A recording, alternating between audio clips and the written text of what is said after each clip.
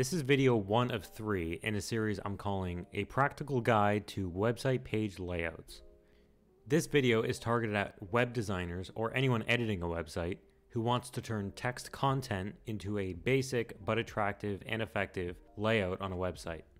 In this video, we'll cover sections, which overall is a way of breaking down a website page into smaller parts to help you better understand how to lay out website pages easier, and how to make a more effective website. Navigations and footers are their own part of the site, which you can learn about in the respective videos, which I'll link in the description. But in this series, we'll focus on everything in between those, the page layouts. If you want to be or are a general web designer, then these are the kinds of sites that you'd be making, and that this video is for. In the first video, this one, we'll talk about the idea of sections and breaking up a page into smaller parts. In the second video, we'll take a closer look at the order of those sections and why it's important. And the third and final video, we will actually be laying out content into those sections with some tips along the way. With that being said, let's jump in and start first with a more holistic view of a website. A well designed website page is made up of sections. You can also call these rows if you'd like, but no matter what you call them, they are usually visually distinct from each other and are usually vertically stacked. We'll talk about horizontally stacked later. Each section is one idea or content subject.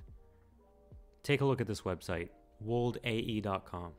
On its homepage, they have their sections laid out as Hero section to introduce the website, a little About section about the company, Expertise, a Meet Their Team section, a Project section, a blog, and a call to action.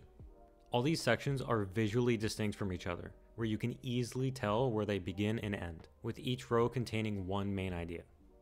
The reason why you should only have one content subject or idea for each row is because it provides the optimal user experience by making the content easily consumable and organized. And that's why this website's design is so good. And they've achieved this through the use of making their sections visually distinct from each other, containing one idea each. I'm sure you can agree that it would be strange to have a layout like this, where in the left column there are blog posts and the right column there are services. This is an awkward layout to consume as a user because intuitively it doesn't flow right, because there's no hierarchy going on. That's what happens when you have two ideas in one section, it causes confusion.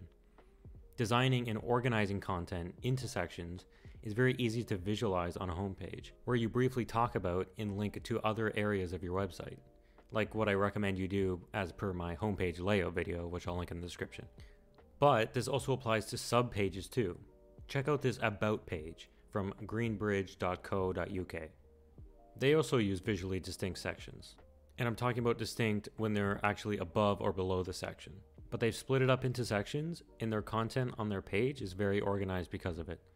They have a title section, how it started, commitment to quality, industry leading repair times, privacy and security, environmental impact, who we work with, and a call to action. All of their sections are visually distinct from each other above and below it. What you'll find is that breaking pages into sections works for any page needing a layout whether it's a home page, about page, service page, contact page, and more. This can be the foundation to make websites look organized and professional. Of course, you can have pages with this kind of layout too, which is mostly one section with a dump of content. Which is totally fine, of course. In this case, you are working with pretty much one section, and all the content on the page should definitely be one idea unless you're using elements to break it up. One general rule that I have that I recommend everyone follow is that every row should also have a heading. This heading should make it abundantly clear what the section is about. This helps the user experience significantly. You should not expect users to look at your section and have to read through all the content just to get an idea of whether or not it's important to them. If you have a heading, you allow users to easily scan or skim the content, making it easy for them to know what they are interested in looking at on your site. This leads to the user overall having to think less, which should always be a goal of any user experience decision. Take a look at this website, thetorontopLumber.ca. It's a pretty outdated site, but 12 years later it still works. And I think this because of the way they organized it into sections.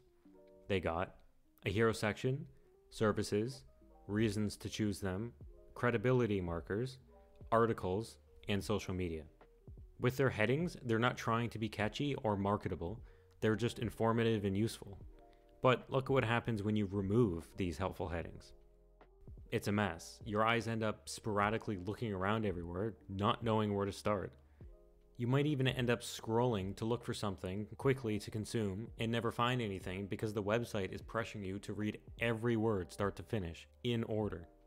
Headings are required if you want a good user experience. Here's another tip if you want the best user experience possible for your headings, you'll want to avoid using a heading like this from this plastic surgery website. This section We are the leading plastic surgery center in the world. I would say that this heading isn't good because they tried to be marketable instead of describing what the section is about.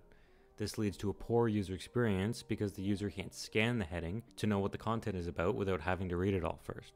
In this case, the heading should be something like Our Surgical Procedures. Now, this is a Webflow template, so this content isn't real, but headings like this do exist out there. And so you should be using headings that are descriptive and to the point. Just from the heading, the user should have an idea of what the section is about. This makes it easy as possible for the user to find what they're looking for. So how do you make these sections visually distinct from other ones above and below it? The simple answer is to either use a background color, background images, spacing, or if you want to be special, you can use some kind of divider. Background colors are my favorite way to make sections distinct. Look at my website. Mostly this background is dark gray, and then light gray, white, light gray, white, light gray, white, and then dark gray again. Here's an example of some background images to break up sections instead. And lastly, spacing. Here's this website where their blog section has no color change, they just used an adequate amount of spacing to make that distinction. One other thing worth mentioning is that you can horizontally stack sections, not just vertically and you've definitely seen them before. Look at this blog article layout. There's two sections here, the main content and the sidebar. There's two different ideas. One is the content for the main blog article, and one contains usually salesy, markety things or some helpful links. When it comes to horizontal sections, usually two is the limit. Three can get confusing almost right away. And it only works on the blog layout because the first section, the blog article, is the primary section, when the sidebar is a secondary section. This creates an obvious hierarchy for the user, making it easy to scan. Here's an example of two horizontal sections with equal hierarchy. This is a hiring agency whose users would likely either be looking for a job or be interested in hiring someone.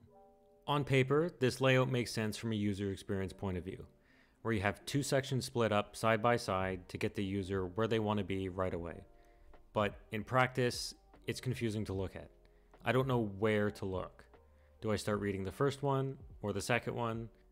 Because there's no hierarchy and not one of them stands out as more important, I'm confused as a user to what to look at to scan first. So if you're going to have two or more sections displayed horizontally somehow, you're going to want to create some sort of hierarchy. This, for lack of a better word, creates a better flow for the user. One caveat that's worth mentioning is culture can have an impact on this but culture differences is a bit beyond my skill set, so I won't say anything else on it. To summarize this video, page layouts are made up of sections. Each section should be visually distinct from the one above and below it. Each section should have a clear heading. And sections can be horizontally aligned, but no more than two, and only if there's a sense of hierarchy or visual weight going on. This is the end of part one. Check the description for the other parts. I'm putting all this content out there for free, so now for me to pay the bills. If you want to support me on Patreon, link in the description. If you want to get your website critiqued by me, link in the description. If you want to be a better web designer or developer, link in the subscribe for more videos.